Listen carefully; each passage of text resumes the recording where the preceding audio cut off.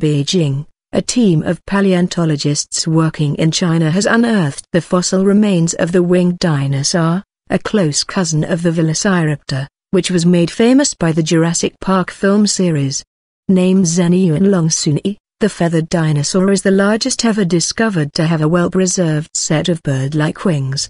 It is a dinosaur with huge wings made up of quill pen feathers, just like an eagle or a vulture.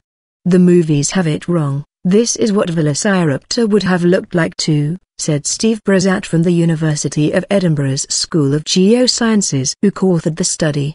Its wings, which are very short compared with other dinosaurs in the same family, consisted of multiple layers of large feathers.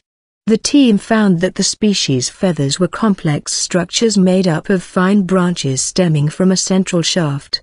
Although larger feathered dinosaurs have been identified before, none have possessed such complex wings made up of quill pen-like feathers, the team says. The western part of Liaoning province in China is one of the most famous places in the world for finding dinosaurs.